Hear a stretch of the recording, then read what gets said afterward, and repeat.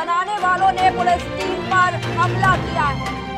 आपको बता दें कि पुलिस टीम ने तालाब में कूदकर अपनी जान बचाई। तो बड़ी खबर रायबरेली से हम आपको बता रहे हैं। लगातार इस वक्त की बड़ी खबर रायबरेली से हम आपको बता रहे हैं, जहाँ पर अवैध शराब पुलिस टीम पर हमला किया गया है। जी हाँ शराब बनाने वालों ने पुलिस टीम पर हमला किया है। पुलिस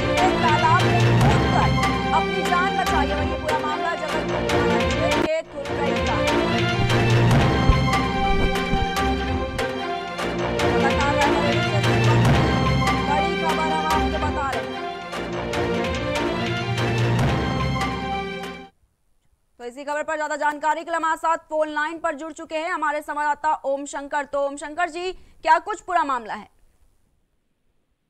अलीगढ़ में हुई मौतों के बाद पूरे ज़िले में एक अभियान चल रहा है, कच्ची शराब और अवैध शराब के विरुद्ध। इसी के तहत देर रात में कई थानों की पुलिस गई थी फुलरई गाँव में छापा मारने के लिए, लेकिन वहाँ पे ग्रामीणों ने इस कदर हमला बोला है कि गाड़ियों के शीशे टूट गए और पुलिस वालों ने किसी तरह भाग कर तालाब में कूद कर अपनी जान बचाई है। वैसे जानना चाहूँगी ओम शंकर जी की किस तरह की स्थिति है वहाँ पर अब? क्योंकि लगातार अभियान चलाया जा रहा है पुल, पुलिस लगातार अभियान चलाती है शराब माफियाओं के खिलाफ लेकिन उसके बावजूद भी लगातार इस तरह के जो केसेस हैं वो सामने आते रहते हैं। स्थिति अब नियंत्रण में है चार लोगों को गिरफ़्तार कर लिया गया है। शेष की पूरे ज़िले की फोर्स वहाँ पर मौजूद है और उनकी अभियुक्तों की तलाश में लगातार कम्बिंग जारी है। ओम शंकर जी क्या कोई पुलिस कर्मी पथराव में क्या घायल हुए हैं?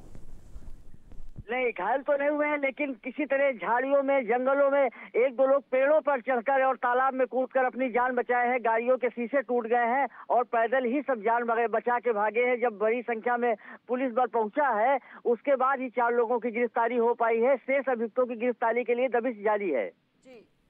ओम शंकर जी एक सवाल ये है कि जिस तरीके से पुलिस टीम जाती है लेकिन उसके ऊपर हमला कर दिया जाता है तो बात करें अगर तैयारियों की तो क्या पुलिस टीम कोई तैयारी के साथ नहीं थी? नहीं तैयारी से बिल्कुल नहीं थी। अगर जो तैयारी से होती तो इतनी बड़ी घटना शायद बच सकती थी।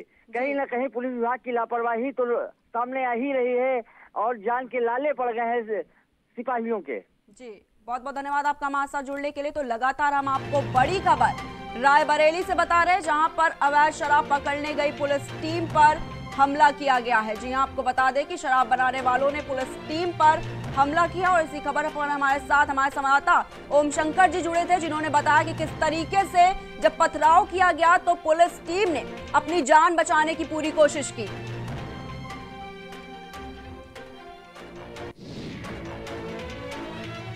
वही बड़ी खबर, प्रयागराज से इस वक्त की सामने आ रही है, जहाँ पर ब्लैक फंगस की नकली दवा बेचने का मामला सामने आया है। आपको बता दें कि प्रयागराज से दो दवा व्यापारी को पुलिस ने गिरफ़्तार किया है। वहीं आरोपी ने प्रयागराज में नकली दवा की सप्लाई की थी। वीडियो ऑडियो रिकॉर्डिंग के आधार पर पुलिस ने गिरफ्तारी की है और खुलदाबाद और नैनी से ये गिरफ्तारी की गई है। कानपुर पुलिस और क्राइम ब्रांच की टीम ने कार्रवाई की है।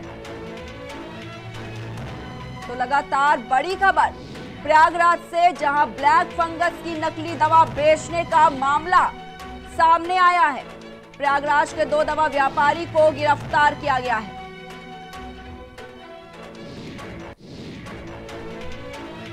वहीं अलीगढ़ से इस वक्त की बड़ी खबर।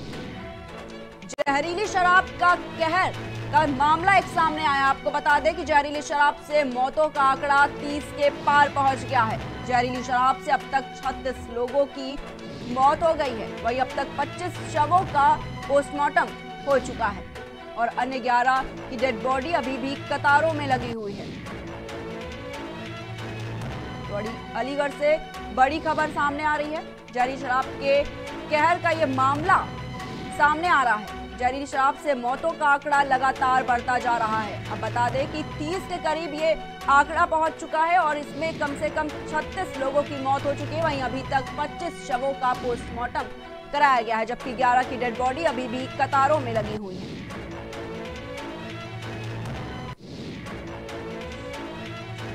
बड़ी खबर, दिल्ली सरकार ने ग्लोबल टेंडर जारी किया है। वैक्सीन खरीदने के लिए ग्लोबल टेंडर जारी किया गया है। आपको बता दें कि एक करोड़ वैक्सीन के लिए ग्लोबल टेंडर जारी किया गया है। आवेदन के लिए आखिरी तारीख सात जून तय की गई है। वहीं डीजीसीआई द्वारा अपूर्व निर्माता ही आवेदन कर सकते हैं। तो दिल्ली से बड़ी खबर, दिल्ली सरकार ने ग्लोबल टेंडर जारी किया है। वैक्सीन खरीदने के लिए ये ग्लोबल टेंडर जारी किया गया है। जी हाँ एक करोड़ वैक्सीन के लिए ये ग्लोबल टेंडर जारी किया गया है।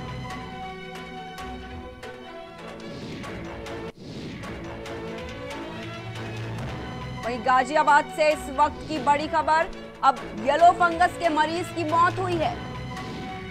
इलाज के दौरान अस्पताल में हुई मौत। मरीज़ को एक हफ़्ते से नहीं मिला था इंजेक्शन इंजेक्शन नहीं मिलने से मरीज़ की मौत हो गई है। वहीं ज़िले में ब्लैक फंगस के पाँच नए मरीज़ मिले हैं। अभी तक तीन की ब्लैक फंगस से मौत हो चुकी है।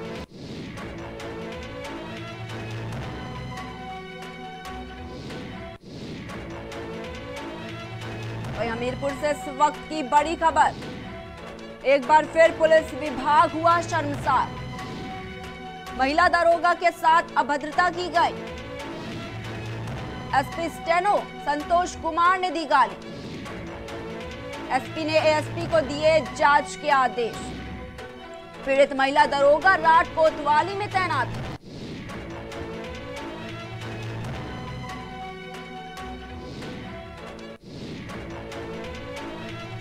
है इसी बीच लखनऊ से इस वक्त की बड़ी खबर।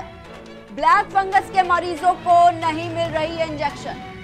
मरीजों के मुकाबले इंजेक्शन की आपूर्ति नहीं। रेड क्रॉस सोसाइटी अस्पतालों को आपूर्ति कर रहा है। इंजेक्शन की कमी के चलते इलाज प्रभावित। इंजेक्शन की खेप को 33 मरीजों में बांटा गया है। प्रत्येक मरीज़ के लिए छह इंजेक्शन दिए गए हैं। और इंजेक्शन के लिए 25 नए आवेदन आ गए हैं। सोसाइटी में इंजेक्शन के लिए 25 नए आवेदन किए गए हैं।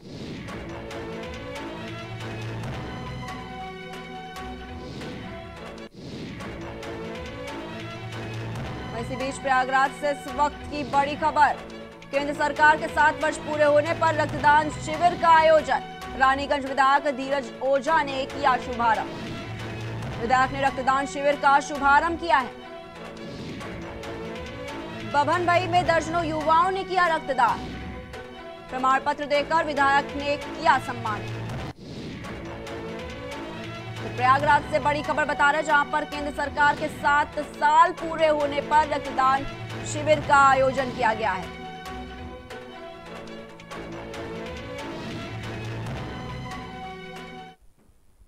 तो लगातार केंद्र सरकार के सात वर्ष पूरे होने पर जगह जगह पर आयोजन किए जा रहे हैं। और आपको बता दें कि उत्तर प्रदेश में भी हर जगह पर आयोजन किए जा रहे हैं, जिसमें रक्तदान शिविर को ज़्यादा महत्व दिया जा रहा है। फ़िलहाल रुकते हैं, छोटे से ब्रेक के लिए आप कहीं मच जाएगा। देखते रहिए प्राइम टीवी।